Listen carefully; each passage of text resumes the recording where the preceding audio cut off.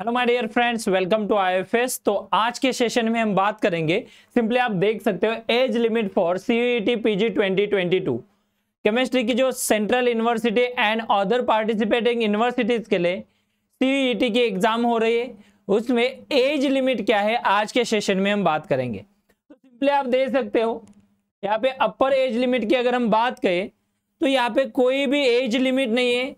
कोई भी candidate exam दे सकता है, बस उसके पास क्या होना चाहिए? बैचलर डिग्री होनी ज़रूरी है।